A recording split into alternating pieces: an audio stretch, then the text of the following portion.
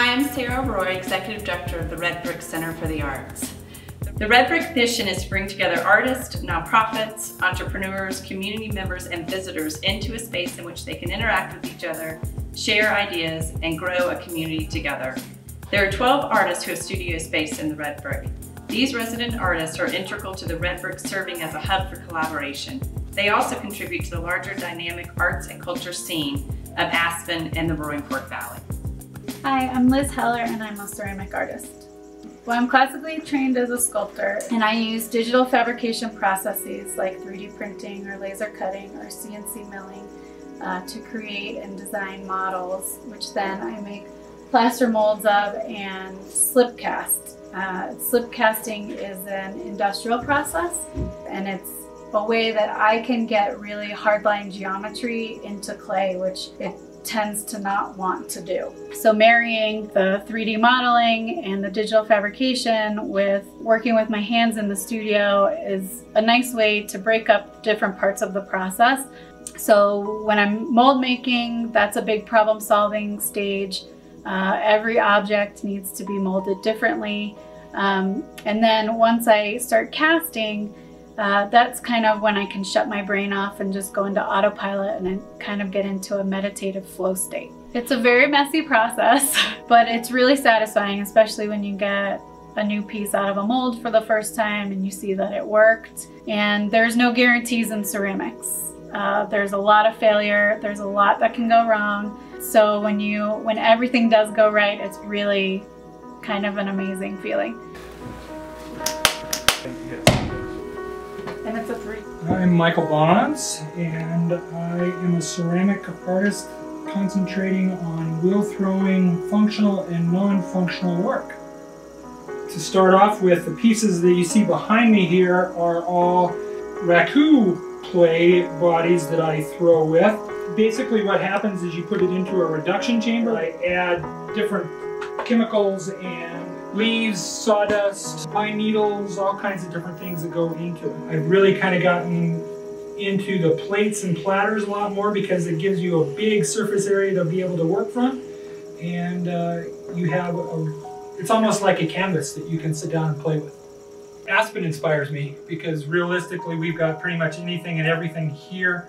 The outdoors, animals, leaves, mountains, skiers, you know, it, you can't be not enthused about being where we live. It's just uh, pretty every day, and it's pretty to come to work every day.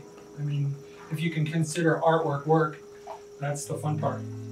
Well, I think I am the longest resident artist in the in here right now. I think I've been here probably almost 20 years now. I think so. It's I, you know, time goes so fast I can't keep up with it. Time is not of the essence. It's just the, the amount of work that I make. My name is Molly Peacock and I am a ceramic artist and I make abstract sculpture. I work with porcelain clay and I make larger scale sculptures that are inspired by our surrounding landscape and clouds and the connection between the land and the sky. Um, I'm also thinking about uh, environmental issues and uh, sort of that tension of gravity pulling down versus lifting up. Um, and I try to express that in my forms. I have been a resident here, I think, seven or eight years, a long time, and I really value um, working alongside other artists, especially my studio mates. Just the productive energy of coming in and seeing what they're doing and it propels you forward creatively. I think that energy is really important for creative work. Well, the Red Brick's got a lot of great opportunities here, not only by having lots of other artists around, we get a variety of different kinds of people coming through here, which is really fun. I think the best part about having our studio here is the community that we have, not only just within the artists, but with the locals and our tourist guests. And I've been collaborating with Kate Flynn of Mineral and Mine. I've been making some jewelry display pieces for her. We co-designed a piece um, a number of pieces, ring cones actually. And so I came to her with the idea, and she then took it and made the mold for the ring cones, and then together we come up with color schemes and paint them. I'm Kate Flynn, and I'm a metalsmith. Metalsmithing is the use of a torch that is powered by gas, so I use acetylene.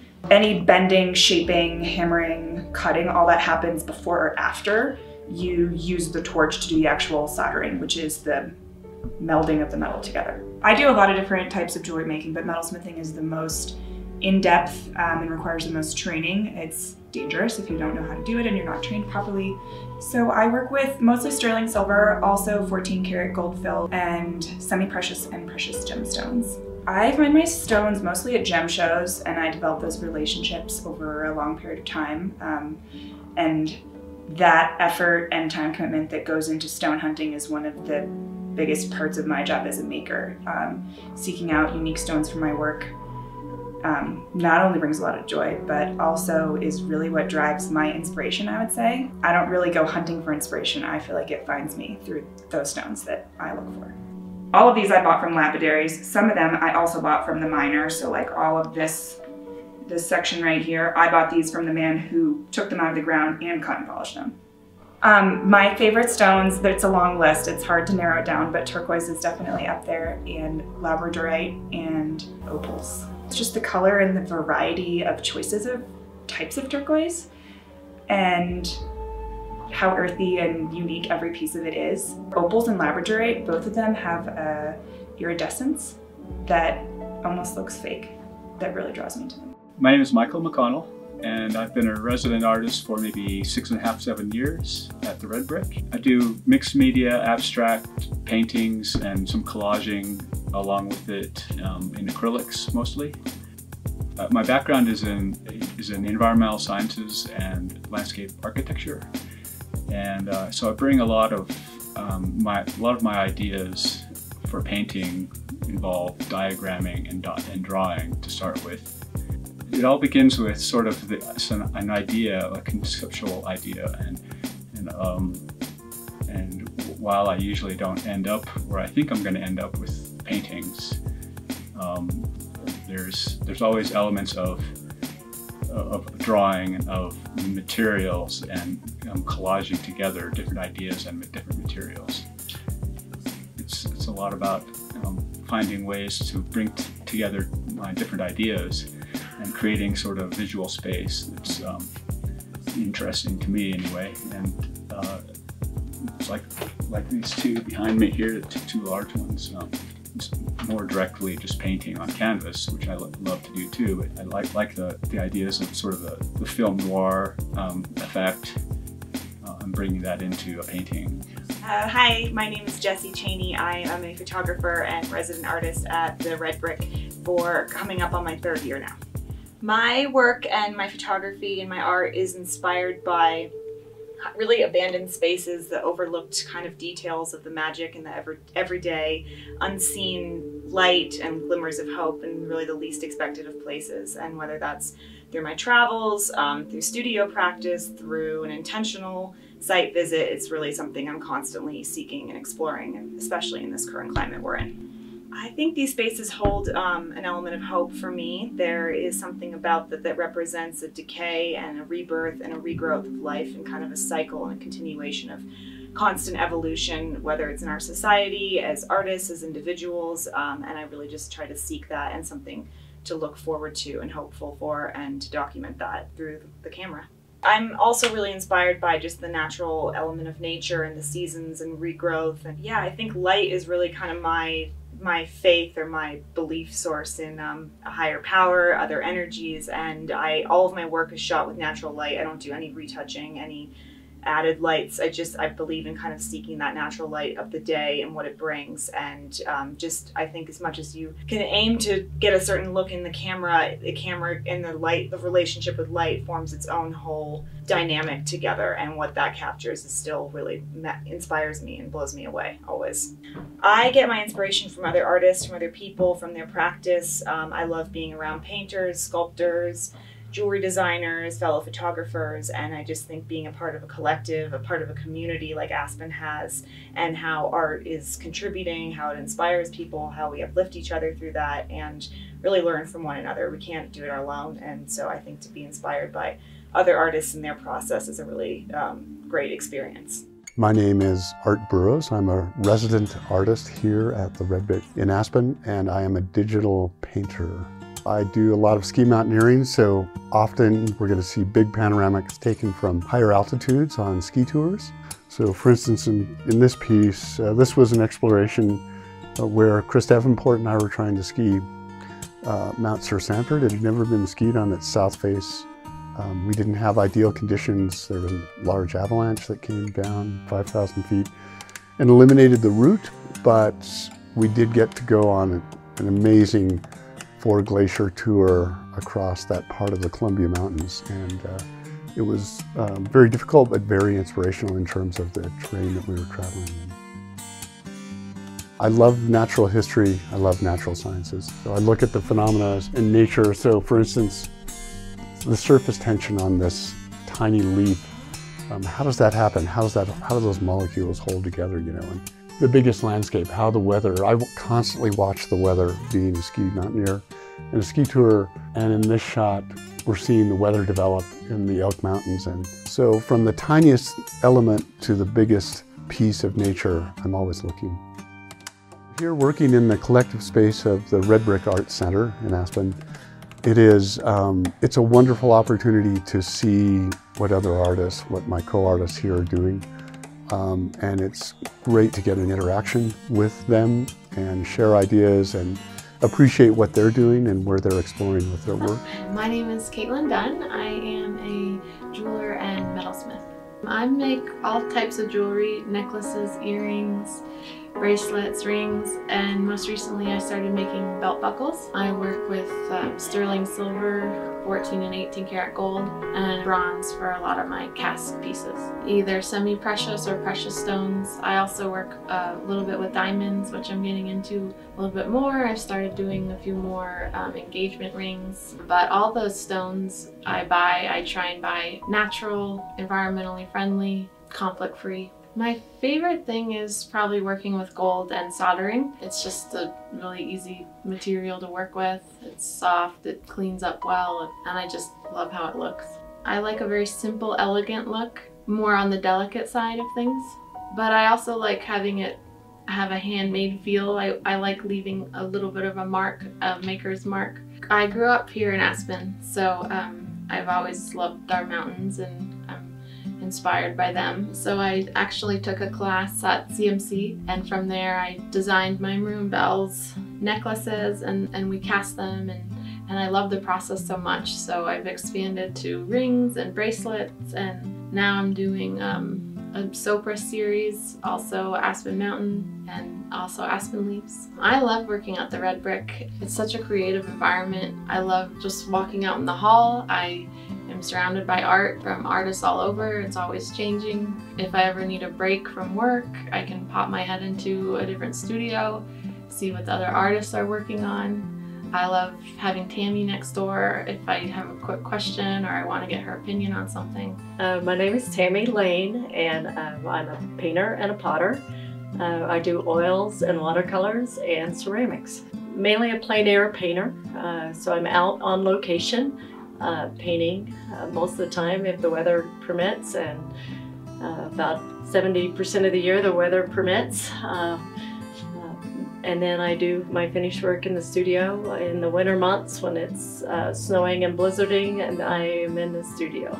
I take a lot of time when I'm going out to a location to find what I feel like is an interesting scene that gets me excited about what I'm looking at. Um, then I usually start out by doing a, a very quick thumbnail sketch and do my homework before I actually start painting. The reason plein air painters try to work quickly and, and a lot of times small is to capture that light right at the moment and um, if it's a fleeting sunset or or just the way the light is hitting something at the moment because the sun came out of the clouds um, that's what you're trying to capture. It's a lot easier to paint in the studio but I get a lot better results when I start a painting in the field. You have the sun, you have the bugs, you have the wind, you have all kinds of things that can be very distracting, but they also, you feel it different than when you're in the studio. Mindy Vernon, I'm an abstract artist and a landscape artist.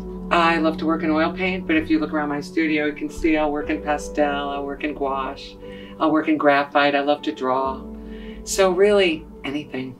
I think my process is really about combining landscape, uh, kind of combining abstraction and reality. I want to make paintings that come from inside me. I want to paint not just what's in front of me, but how I feel about what's in front of me. So for instance, this painting is I was riding horses with my girlfriend Zia and we were in the woods in the fall. So I want to paint how I felt when I was in the woods with Zia. So more from inside, uh, but I really sometimes when I go to abstraction, then I think, oh, I got to do a landscape. I got to get back to reality. If I work too long on something, I find it's really hard for me not to wreck it. And a lot of times I'll work from like these small paintings here. I'll work uh, creating small, um, rough images which I really like, and, and then I translate those to large abstract images. Uh, but these are my starting points, and these are also croppings of my other paintings. So I go from like cropping large oil paintings to making smaller ones, and then from here I create large paintings that are abstractions. So I was always a graphic designer or a painter, so I always felt like an artist. If you're creating every day, then you're an artist. You know, I always felt like an artist, but now I feel like maybe more of a painter. I feel like a painter. Oh, I love my studio. The studio is a is a dream come true. You know, I got Red Mountain outside my window and Aspen constantly inspiring me. And this community of artists, I really love working in this building. This building has a history, you know, as an old school in Aspen, and you can feel that. And I love my fellow artists. I love collaborating with the other artists in the building. They inspire me all the time. Their work ethic, watching them work, watching what they created that day. Uh, Nancy Colgren. I'm an abstract color field artist. Color is my main focus, of course, but I love to let the painting evolve almost on its own. As I work through the painting, I'm not particularly attached to the form and I like the spontaneity of having a background that is, let's say, quite loose and then letting the painting come through. I like to blend my colors. I like them to be sensual, sensitive, kind of alluring, and to bring me in and bring people around me in so that they're more sensory than specific. I just want them to, to be happy and work with each other. The red brick affords you some interaction with people that you normally probably wouldn't interact with and that um, the interplay of people and the communication is very helpful to pursuing your art. My name is Emily Chaplin and I am an oil painter. I had the good fortune of traveling uh, around the world for my work uh, the past 10 years as a photographer.